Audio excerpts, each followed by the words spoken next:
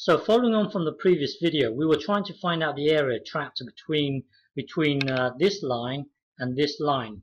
So when you come to do this, in reality, you're not going to get these two lines drawn on a grid for you, like um, like in the last video. So in this video, I've removed the grid. So we don't know the precise location of this point. We don't know the precise location of this point here.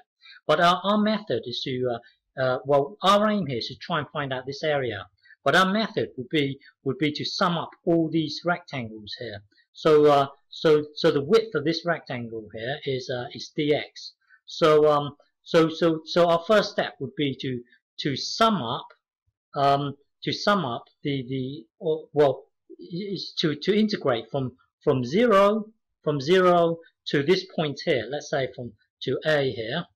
So so we would sum sum up everything there. So so it will be dx here, and then plus. So so what we've done, our, our first step is to sum up from zero to uh, to point A, and then the next step is to sum up from A to um, to to let's say B here.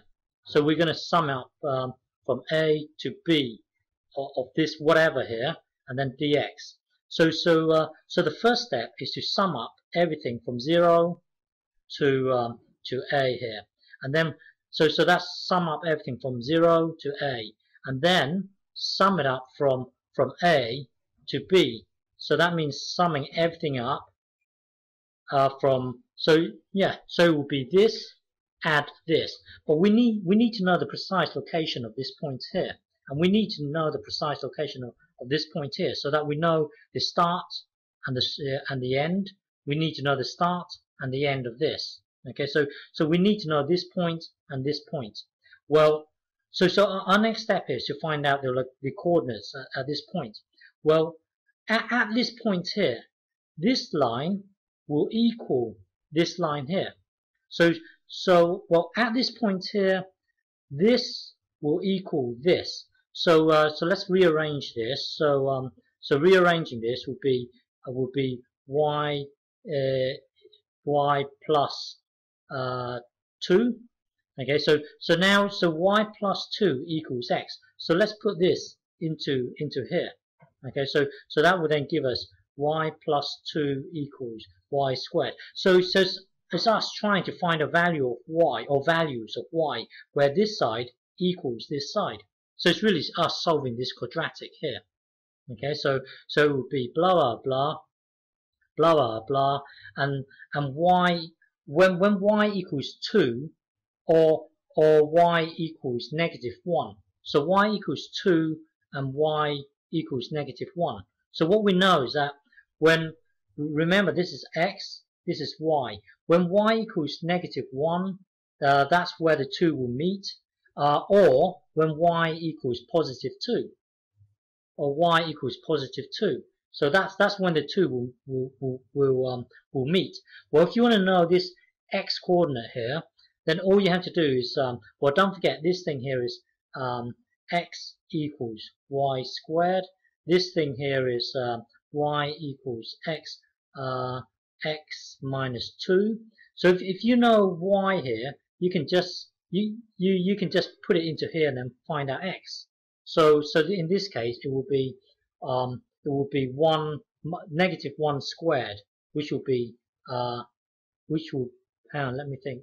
Oh uh, which will be which will be 1 yeah so if you put this into here then then the whole thing here will be 1 which which does make sense. Look because this here is 1 and then uh, this here is negative 1 okay? So so this here is 1 and then if, if you want to know this uh, this point here then put this into um, in, in, into the easiest of the two. So hang on. So so put this into here, and it will be a four. Huh? Well, wait, let, let, let me think. Uh, why? Sorry, sorry. Um, hang on. So so if you put this, yeah, that, that's right. That's right. Sorry, hang on. Um, hang on. Let, sorry, let, let, let me start again. Here you've got this uh, y squared. Put this into the y here so um, so so that will be uh, that will be four. So that does kind of make sense because four is here, and then two is here. Okay, sorry about that.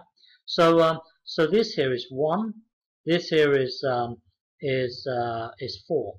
So now now we can uh, we can set up our, our integral now. So so we we're going to integrate from from here from zero to one here because we we now know we now know it's one, and then we we so so we are going to integrate from well basically we are now going to, to integrate from zero to one.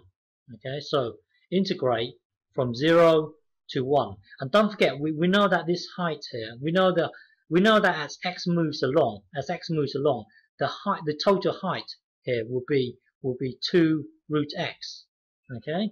So so first area is given by this from 0 to 1 from 0 to 1 okay? And then so so the first step is this that's this bit here. And then we've got to add it to um to to this. We've got to add it to this.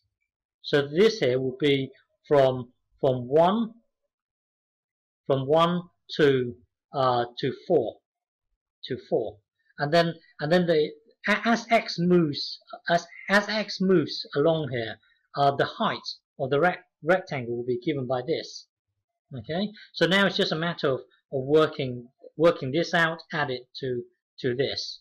So would be um, so would be you integrating everything. So it would be blah blah blah blah blah blah blah blah blah and then it should equal um, it should equal 4.5 okay?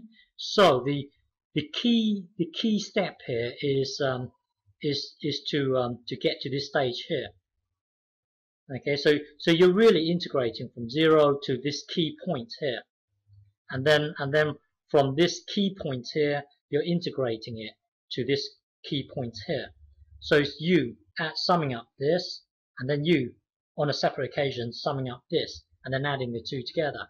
By the way, in the next video, there's a more efficient way of doing this.